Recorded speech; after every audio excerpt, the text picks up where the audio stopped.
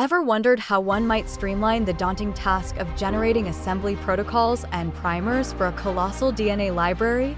Enter TeselaGen, the software that is revolutionizing biotechnology workflows. To get started, simply input your DNA sequences into the software. TeselaGen is designed to accept a broad range of formats, so whether your data is in GenBank, FASTA, JSON, or CSV, the software can handle it.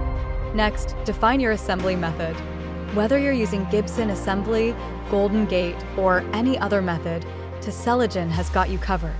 It's as easy as selecting your preferred method from a drop-down menu.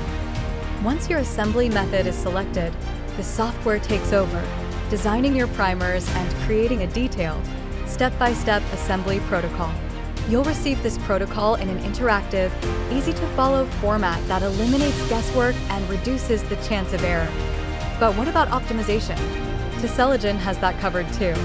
The software automatically optimizes your primers for things like temperature, GC content, and primer-dimer formation. The last step? Just hit the Generate Protocol button and watch as TeselaGen does the heavy lifting, delivering a comprehensive, optimized assembly protocol and primers for your DNA library. Now, imagine a world where generating assembly protocols and primers for a vast DNA library is as easy as a few clicks. That's the world TeselaGen is creating. No more laborious manual design. No more hours spent optimizing primers. Just efficient, streamlined, and reliable protocols at your fingertips. TeselaGen is more than software. It's a tool that empowers biotechnologists to do their best work. It's a game changer, and it's here to make your life in the lab easier and more productive. So, if you've ever been daunted by the task of generating assembly protocols and primers for a big DNA library, remember this. TeselaGen is the solution you've been waiting for.